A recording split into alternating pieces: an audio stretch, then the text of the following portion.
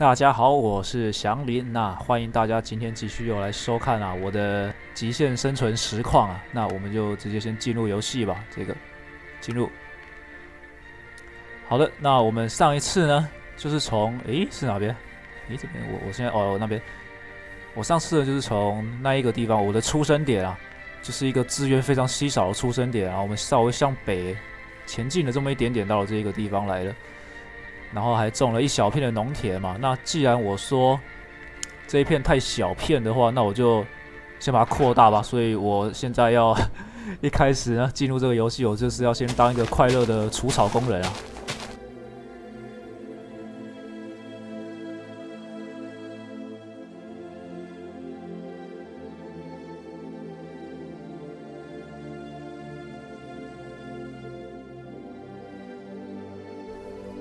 啊，好的，我们现在收集了三十个种子了。那我们要做的就是先把这三十个种子先给它种下去啊。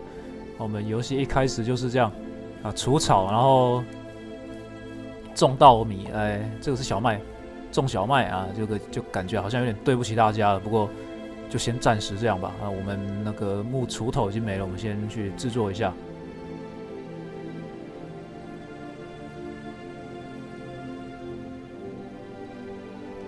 哎，好，那我们就在它的正对面这边吧，对称的环境嘛。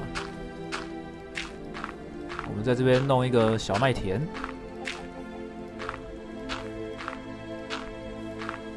这样子应该填起来好了。哎哎。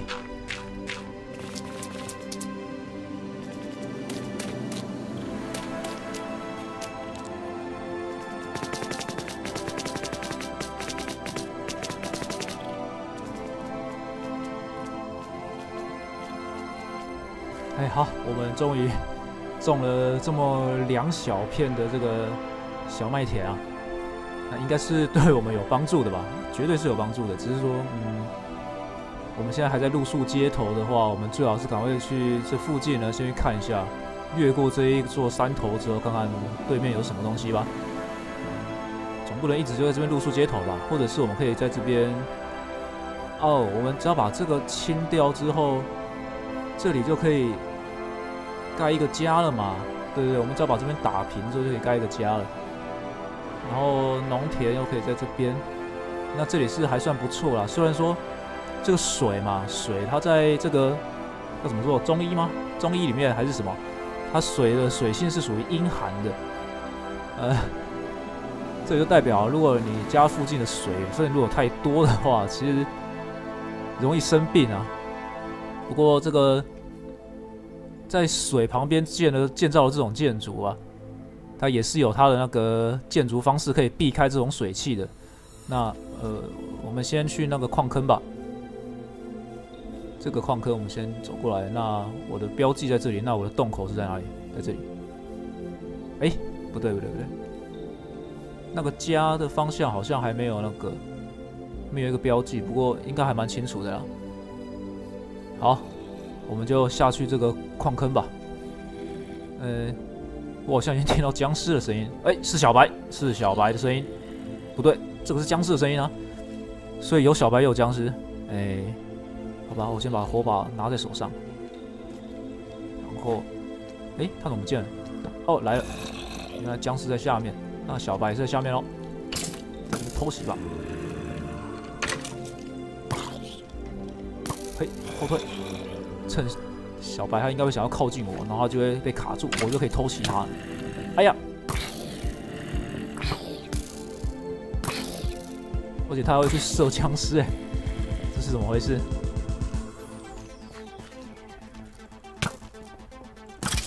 哎，他死了，我就在对付这个僵尸。有，太好了！哎，下面怎么还有小白？糟了，糟了，糟了！那，哎，哎，太好了！哎呀，哎呀，这个好像真的很难接近他。哦，好，终于把它给解决了。那，哎，这里的话，我们是要垫一下。这个火把的位置要改一下。这个我们从那边进来的话，还是把火把插在右边吧。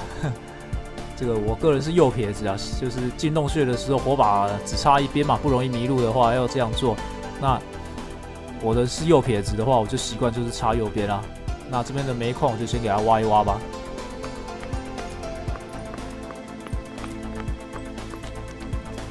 好，我们继续前进吧。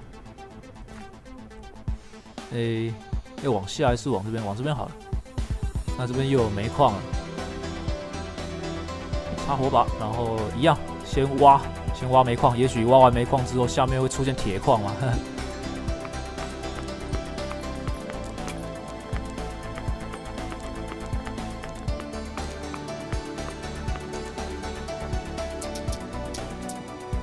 那么上一次有说到，上一次的节目嘛，我们有说到说那个四个神兽啊。哎，这边这个怎么会有这个？这有色怪砖啊？是哎，封起来。可是，哎呀，我的火把不够，我的火把不够怎么办？泥土封吗？这样可以封得起来吗？我不知道哎，就先这样子吧。哎，有附魔书，哎有面包哎，太好了，食物都有了，火药、铁锭跟氨，哎，我们有氨了，太好了。然后小麦这边也有了铁桶，都拿了吧。这个收获感觉上还是不错的啦，要求就不要太多了吧。那我没有火把了，我怎么会在没有火把的情况之下就外出了呢？这个真是太说不过去了。好，我又有火把了。那说到那个，哎呀，四个神兽啊。这个四人四个神兽，其实古人一般在看天空的二十八个星宿的时候是看不出那个什么颜色的。那为什么又会有什么白虎啊、青龙啊这种有颜色的状况出现呢？那玄武的玄就是黑嘛？为什么会有这个颜色的出现呢？其实这个颜色的出现是根据中国的地理环境然后而定的啦。所以说，它其实也算是一种哎，这里又没有路，那就算是一种风水了。所以也很多人都会拿这种呃四个神兽啊来看这个风水嘛。那为什么会说这个四个神兽可以看风水呢？呃，应该说它的颜色，为什么它的颜色会是说是用中国的这个地理环境来那个看的呢？啊，我们首先来说西方的白虎吧。那西方的白虎嘛，白色，白色指的其实就是金属。那在中国的西部啊，一般古时候的人，早期古时候的人认为西部呢。金那个金属矿物会比较多啊，所以它在就是西边就是代表的这个白色的金属，所以就用白色。那在东边呢是青色，也就是青龙。那东边为什么是青色呢？诶，这边的话往下面走的话是往那边？诶，我听到小黑了，我们往前走吧。那东方为什么会是青色呢？啊，因为东方是那个太阳起来的地方嘛，所以。这个树木啊，就比较容易生长。那有一句话是这样说的嘛，“树木常青”嘛，所以代表木头的就是这个所谓的青色。也就是说，东方就会是青色，然后再配上东方的圣那个神兽龙啊，就这么出现了这么一个青龙。那南方是朱雀，南方为什么是红色的呢？朱色就是红色。那因为啊，这个南方大家都知道，南方是很热的嘛。所以呢，热就让他想到火这种东西，所以呢，南方就是火。那比较让我百思不得其解的，大概就是北方了。北方呢，哎，这边怎么又是一条死路？北方是这个玄武，那北方为什么会是说是黑色呢？那这个很多很多人都有他的自己的说法，那这种说法都不太一样。那么有的人是说啊，嗯，这边我已经没有泥土了。有人是说啊，因为北方非常寒冷，所以北方是所谓的死极之地。诶，这么又是一条死路。那死极之地的话，大家会想到当然就是所谓的黑色嘛，有苦力怕。嗯，我时间也快坏了，好吧，就让它这边爆炸，反正炸不到我。死极之地基本上大家就是一定会想到就是黑色嘛。那另外又有一种说法是说，是水的关系，因为北方是这个水。哎，这边被它炸出来。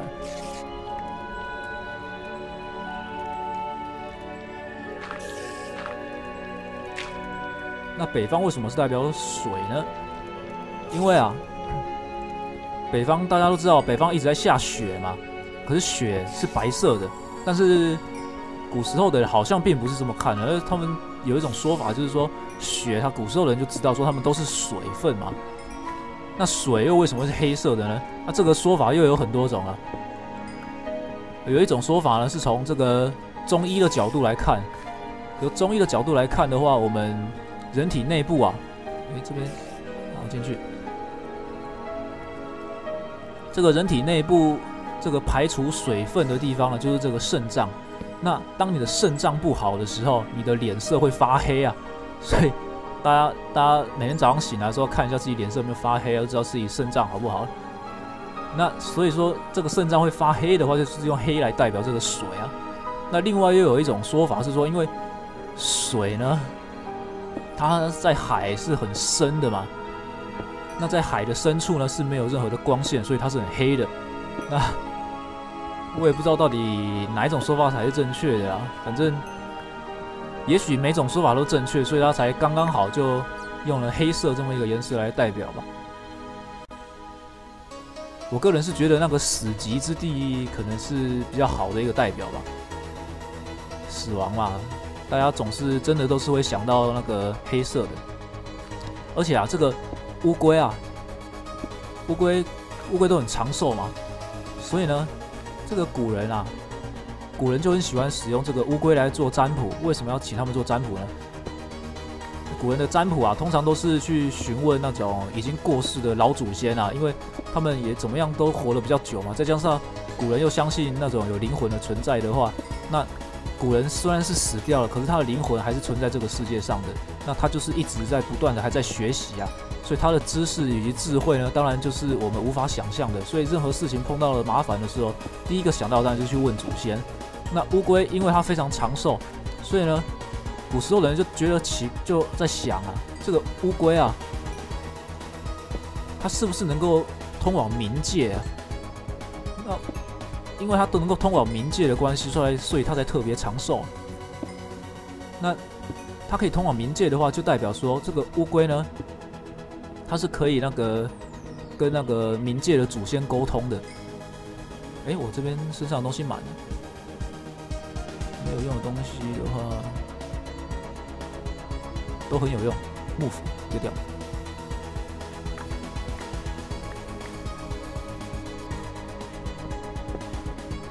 那这个乌龟啊，它能够通往冥界，所以古时候人就希望能够借由这个乌龟呢，然后去跟那个冥界的老祖先问答案嘛，问完之后再回来这样告诉我们这样，所以就有所谓的龟谱出现了。那哎，小白，哎，好，那。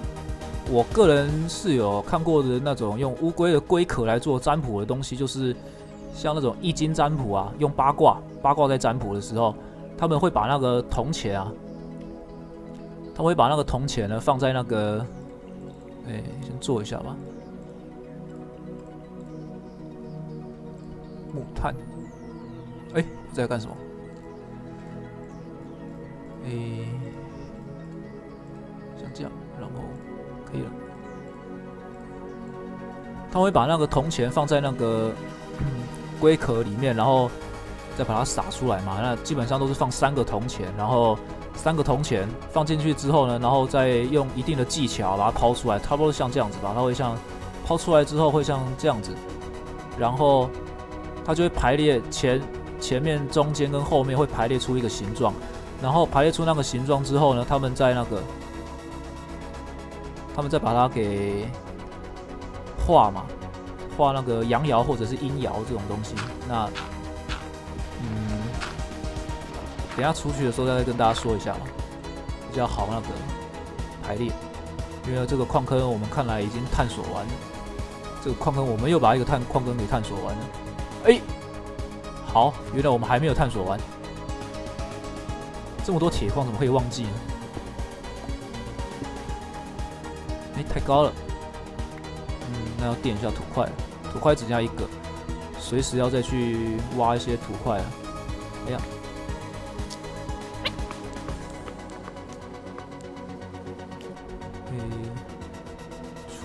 话是在这边。哎，这下面是不是可以下去？哎，对，这边还可以进去，不过里面什么也没有。而且我的肚子饿了，我的肚子饿了，我居然现在才发现啊！这个太不应该了。刚刚讲太多废话，这是对我的惩罚吗？好吧，出去了。太阳还没下山，太好了。好吧，那这个矿坑又是，看来又是一个没什么矿坑呢，还是说这边？我是不是探索过了？对啊，都有插过火把。对了，我不是电土块了，那就走了吧。哇，这个这个光线真的很漂亮。然后我哇，哎，等一下，那边有小白，还有两只，我身上骨头有七个。我要不要去挑战那边的小白？我的石剑跟我的木剑都带在身上吧，备用一下，然后看能不能把小白吸引过来。哎，他他射我了！哎，那边怎么还有一只？然后他不肯过来。哎呀，这是怎么回事啊？哎，这只小白去哪里了？哎，在这里，他躲起来了，想骗我。骗不了我的，你骗不了我。那骨头这边的话，这边下去，我听到蜘蛛的声音了，不知道是在上面还是在下面。这边好像啊，在下面。哎哎，我怎么掉下来了？哎呀，这危险的。哦，好险！我的武器刚好都坏光光了。赶快走，赶快走！哇。这个样子，那边还有铁矿，赶快走！不管了，不管了，什么都不管了。现在赶快走是最最要紧的。他好像就是，他们好像一直卡在水里了吧？不要管他们了。哇！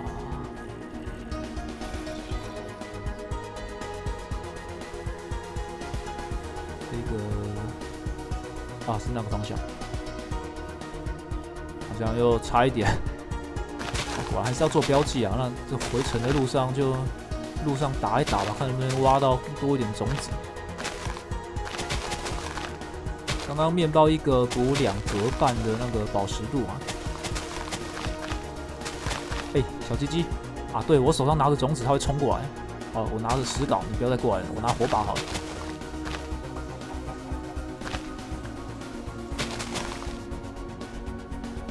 是这个方向吗？应该是的吧？咦？呀？难不成我迷路了吗？怎么可能会有这种事情呢？咦？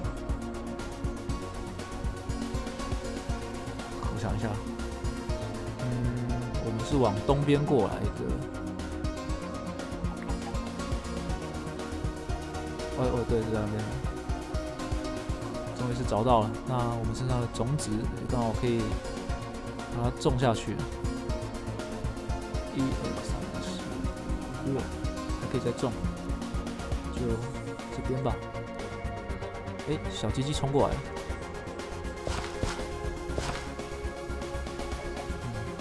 种下去。好的，然后我们的骨头，嘿嘿，有三十个骨粉啊。嘿，嘿，嘿，快快长大！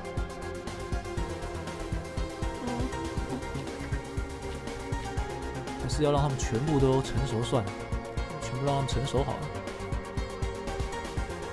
然后可以尽快的嘛，尽快的获得一些粮食，之后我们可以赶快，赶快的往更远一点的地方去探索，不然这个感觉进度实在很落后啊。太不应该了。好，通通都给我生长起来吧。好了，身上骨粉也全部都用光光了，被采收了。啊，这个还没有成熟哎，怎么会这样？呀，哦。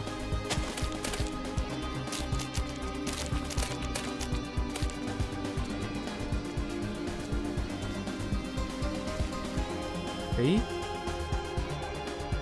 这样好奇怪，我是不是我拿到的种子还没有，就还没有我那个多，还没有我打掉的多？嗯，算了，不管了。那我先用石铲吧，我先补一些，先挖一些土啊。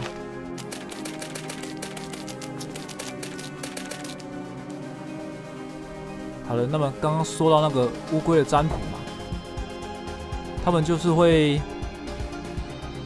先像这样丢，差不多像这样吧。然后铜钱这样子一丢之后，它就会有前后、前中后三个这种排列嘛，三个铜钱这样排列的方式。那假如说最下面的这一个啊，它如果是它如果是反面的话，那就是代表一个阴。阴的话就是像这样子画。两个短线，然后中间空格在一个长线，然后如果中间那个硬币呢，它是阳的话，也就是硬币是正面，就代表阳，那它就会排列成像这样子。哎，那这样子的话就是一一一一一阳，然后在上面那个落铜钱，它又是所谓的阴的话，也就是反面，它就会画成这样。那这样子的话，一个八卦的单卦就完成了。这个就是一个，这个是。这是一个坎卦，这个有一个口诀嘛，坎中满，坎中满的话就是一个坎卦。那这个坎卦呢，是代表我们自然界中的东西啊，它代表是一个水。那大家可以那个想象一下，如果中间这一条是一个波浪的话，那这三这呃这三条都是一个波浪形状。然后我们的水呢，就常常就是在画图的时候会把中间这个给断掉嘛，所以这就是一个八卦的那个单卦。那这是一个坎卦，然后呢？他们就会继续再丢啦，哎，再把那铜钱再丢一次，又出现一个，又出现一个单卦。那那个单卦的时候，再按照这个方式再往上面排列。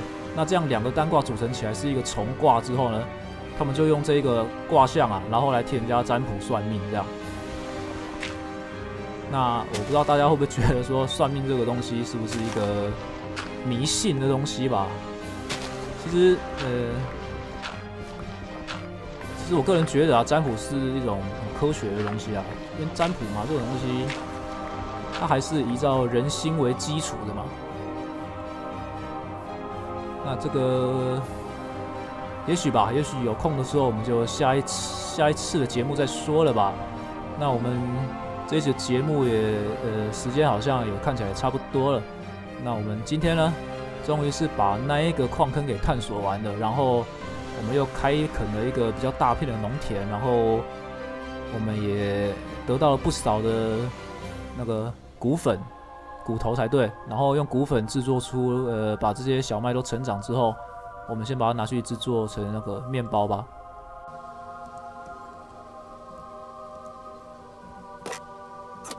嗯，再来就是说，呃，有很多有有大大就在跟我说，我有找到这个甘蔗，可是。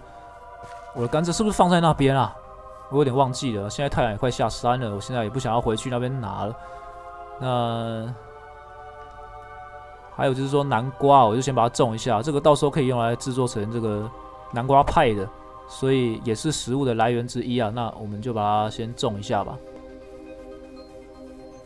那就种在这里吧。鸡蛋，八个，啊，八个都种了吧？六七，哎，可恶！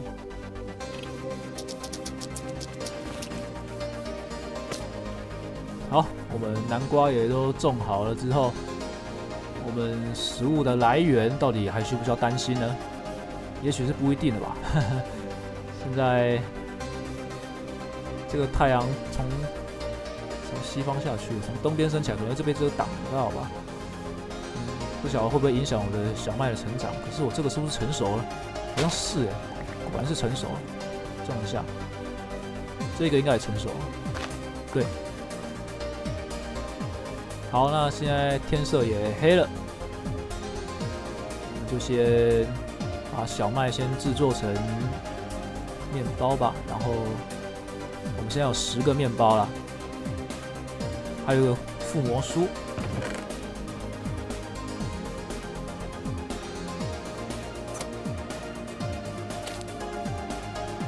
好，那么我们也到了晚上了，那我想我们这一期就先到这里吧。好像有讲了一些废话，不过我想这是每个人的风格嘛。也这样子，我也不知不觉时间就过得非常的快速啊，就到了我原本说的时间一一次的一片时间嘛，大概二十分钟到三十分钟。哎，我好像听到小黑的声音了，那。那不管怎么说，我还是先睡好了啦。这个小黑的声音一出来，真的是很恐怖。好，果然那边有两只小黑就在我的眼前，那我们不要往那边看了。那我们 这一期的节目啊，就先到这里了。啊，感谢大家的收看啦，我们下次再见了，拜拜。